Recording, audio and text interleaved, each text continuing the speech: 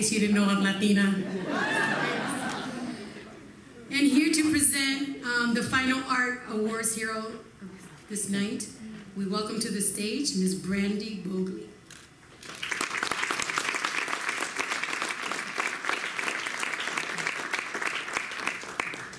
Hi everyone, my name is Brandi Bogley. I am an ABA therapist for the City of Waterbury Autism Program. I am so incredibly proud to be standing here today for Chase Taylor. I've had the pleasure of getting to see Chase grow from middle school through his high school graduation last year. He was always, he has always been an inspiration to so many people who witness his endless hard work and determination. Chase is a passionate young illustrator and author who has developed an engaging children's book series called The Letter Critters. In his books, he encourages kids to have a love of learning and a positive relationship with education and imaginative play.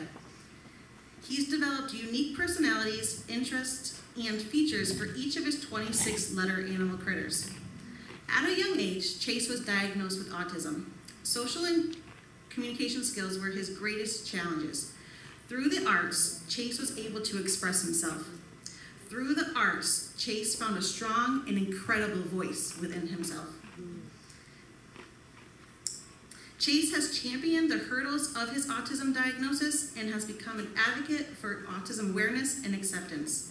With the publication of his letter critter books, Chase has become an inspirational role model to so many more to persevere in achieving their goals and dreams through obstacles that lie in their path. Chase's contributions to the arts and his advocacy are influencing a positive movement for social change for everyone. If you would join me, please, in turning your attention to the screen.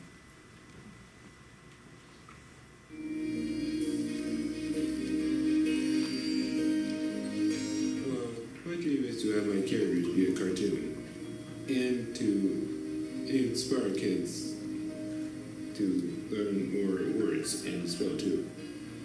And to have fun with it. Art is important because it expresses how people uh, feel and what they like to do.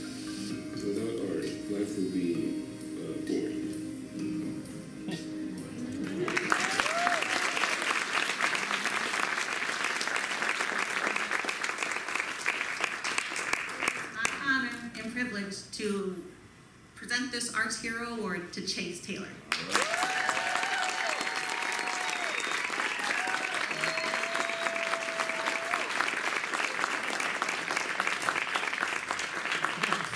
Thank you, thank you all. I'm really honored to, honored to get this Connecticut Arts Hero Award, and I'd like to thank the Connecticut Office of the Arts for presenting me this award.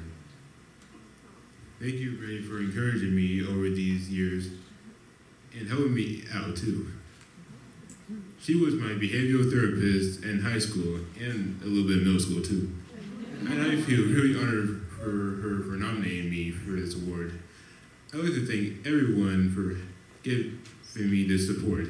My mom, dad, great brother Chad, and my godparents, and my aunts, my aunts, uncles, cousins, and friends too. yeah. Art has been really important to me. When I was young, I used to scribble and draw on magnet doodles, which is the type of toy where you erase your drawings. and it made me feel comfortable when I drew different letters and characters. I went through a lot of them when I was young, but my mom gave me this software that I could draw on the computer, which improves a lot for me. Oh yeah. I created my letter critter series as a fun and engaging way for kids to learn about the alphabet, big words, character development, and personalities to prove that they're not just about their color, but about their personalities. This book is written by a teenager like me, who can understand what kids like, and I hope the kids are inspired by my book to learn new words and read.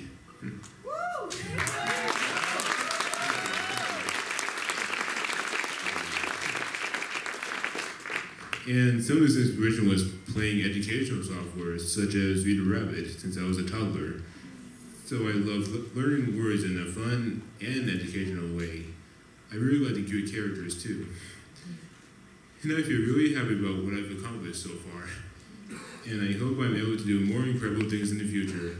My dream is to have my characters become a cartoon one day.